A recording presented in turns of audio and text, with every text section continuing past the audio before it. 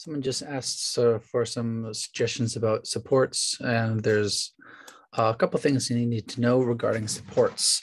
Uh, first off, with a model like this, you could outright just like build it flat on the plate. Uh, that would not necessarily work. Obviously, if you had a bigger model, like one this big, you could outright not use that strategy. But even if it does fit on the plate, um, there's a good reason why you wouldn't want to do that is because there's elephant foot. Uh, elephant foot is the bottom layers, the very first couple layers. Uh, let's see, I'm not sure what my settings are currently. My, my settings right now, my bottom five layers uh, have an extra long exposure time. Uh, and because of that, they tend to bleed and uh, it's uh, they get something called elephant foot where they kind of like bow out on the bottom kind of like a an elephant's foot. Um, and uh, there's a couple ways to mitigate that. Uh, one way is to just uh, sand it. Another way is to modify your model such that it actually tapers in uh, so therefore when the elephant happens elephant foot happens that when it gets bigger, it actually ends up being how you want it to be in the first place. So you can edit the model, you can sand the model. Uh, there's a couple other um, tricks you can do. Um, so that's one thing you can do. You can just outright print it flat. Uh, so the other idea is to um, add supports. Um, and first thing I want to show, what you definitely do not want to be doing is something like this, where I add supports. And you see there are supports, but in between the supports, there is, well, let's think about how it's actually building this model. The very first thing it does, again, this, let's say this is our design. Let's say this is what it's going to build, perfectly flat like this. The very first thing it's going to do is it's going to put the first however many uh, layers you have of starting uh, and you want those nice to be nice and strong, and you want those to adhere to your build plate. It's a constant tug of war between the build plate and adhering towards the build plate and uh, the uh, forces pulling from the FEP. You, the FEP is designed to be uh, nice and slippery and uh, very low uh, adherence, adhering to it. Um, but it's it's it's not always going to pull off freely, as you will see on failed prints. But anyway, uh, think about it in terms of how it builds. First, the bottom layer, and then it makes it thicker and thicker. And now it's starting to do the supports, and now it's starting to do the supports. And then once you get to this place, suddenly it's trying to build zoom in over here. It's trying to build, let's say, these areas between, if you can see these areas between, these areas between, it's starting to build there, but there's nothing holding it up. It, there's nothing holding it up right there. So you'll have, it's kind of like bridging. Uh, I don't know if they use that term for resin printing, but you don't want that uh, because there's this area right here, nothing is supporting it. I mean, you could try to like go crazy and add a bunch of supports between, but no matter what you do, you're always going to have some messed up, not smooth surface if you try to have a surface parallel to your build plate like that. So one strategy you can do, let me remove these supports. One strategy you could do is to angle your um, angle like this. But there's a problem with this too. We actually still have that same problem, just to a much less extent. If we look at the bottom row, we still have this whole bottom section over here. And between these, uh, between these two supports, you're trying to build like, if we go like right, building support, supports right here, right here. You look right here at this point in time. At this point in time, it's trying to build this area right here. If I can get a good angle at it. It's trying to build this area right here, but there's nothing supporting it.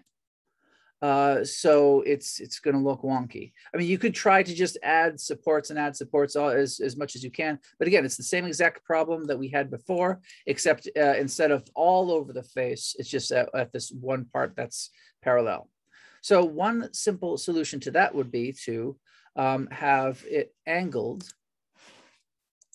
slightly in this direction so you never have a bit of an angle. You probably don't even need that much angle, uh, but you have a some angle here. So now instead of having nothing to build off of, this needs a support right here, but then the area next to it builds off of the adjacent area. And the area next to that builds off the adjacent area and then so on as we go up and up. And we can see Let's see. Um, let's see. I'm to add. I'm to manually. Yeah, I guess this. I think it's to add some crazy support here that would not work. Let me just see what this looks like. Oh, I guess so. Anyway, um, let me manually add supports just to show the idea I'm talking about. So if you have one support like this, in theory, everything would be supported because if we have, go back to the very beginning, we have this one square and there's the support going up and that's where it first starts. In this section over here that is moving off, that is supported by the stuff under it. So here, so this is supporting here, which is supporting here, which is supporting here, which is supporting here, which is supporting here, and all the way up as it builds. So the bottom layers are supporting the top layers. As long as you don't do uh, too much of an angle, you can have it go from a small point to bigger and bigger and bigger. You wouldn't want to just have a single support there because that would be bad for other reasons. Uh, it would it would it would like fall over. So as far as like support, this would be supported as far as you wouldn't have any islands, but this would not hold up because there's other stresses going on here. Uh, so you would have to add a bunch of other supports and the Chitubox uh, supports are, in my experience, pretty good. Um, you just, uh, oftentimes I just like to add additional supports to them. But now if you look at something like this, as it builds, it's supported and supported and supported and supported. And each time as it goes up and up and up and up and up, it's always being supported and additional supports are being added as they are needed. It's also particularly important to pay attention to the first, uh, first layer of supports. We go down, you can see what I'm talking about here. Over here, I like to add extra supports when we're first starting out. So I would personally add one support here and one support here because I want to make sure at go at this point in time, at that point in time, I want a really nice, secure support from below. And then as time goes on, we can start getting supported by these other supports when you're uh, designing supports, you have to think about when the support is first hitting it, when the first is uh, when the support is first coming contacting it, what supports, um, what forces are at play at, at each given moment. So let me show uh, an example of what I'm talking about.